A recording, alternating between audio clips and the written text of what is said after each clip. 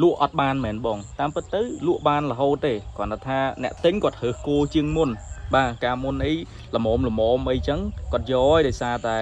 គោរៀងថ្លៃបាទដល់ពេលឥឡូវវាធូរថ្លៃអញ្ចឹងអ្នកទិញគេមានសិទ្ធិក្នុងការជ្រើសរើសគោដែលគេពេញចិត្តព្រោះព្រោះធម្មតារបស់ដែលធ្លាក់ថ្លៃពីព្រោះថារបស់ហ្នឹងវាមានជំរើសច្រើន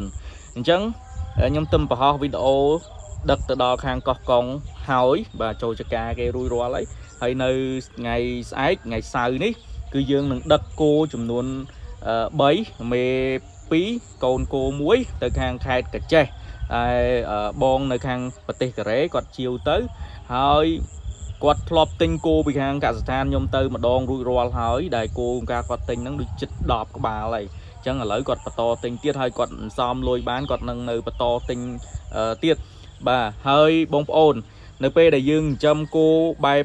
ច្រើនចំណូលយើងបានច្រើនតាមនឹងដែរតែបើយើងចិញ្ចឹមបែបលេងយើងចំណូលបានបែបលេងលេងដែរអញ្ចឹង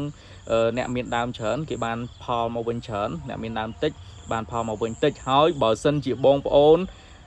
ចង់រកមុខលបហើយគិតថារកស៊ីខ្លាចថាខាតអត់ធានបថុយអត់ធានធ្វើអត់ធានបន្តានទេ